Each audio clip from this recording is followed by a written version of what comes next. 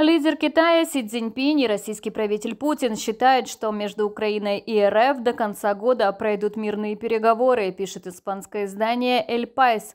Об этом, как сообщает газета, заявил венгерский премьер Орбан в отчетах европейским лидерам о поездках в Москву и Пекин. Стоит отметить, что в ЕС крайне недовольны последними визитами венгерского премьера. Глава Европейского совета Шарль Мишель заявил, что у Венгрии, как страны-представителя ЕС, нет мандата на взаимодействие с Россией.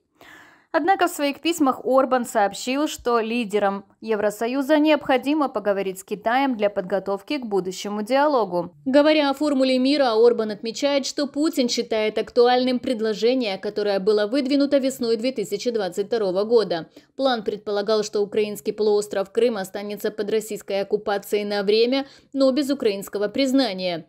Киев отказывался от членства в НАТО, устанавливал предельную численность и потенциал украинских войск, а также заявлял, что несколько западных стран предоставят гарантии безопасности и помощь нейтральной Украине в случае нападения.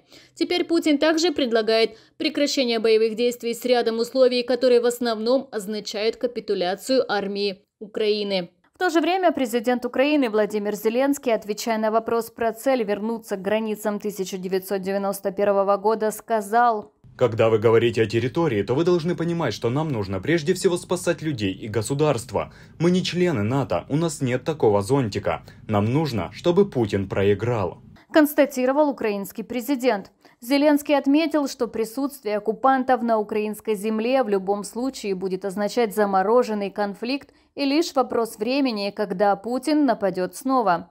Президент добавил, что лучший способ остановить войну – подготовить планы и организовать в ближайшие месяцы второй саммит мира, чтобы мир нажал на Путина, чтобы остановить войну.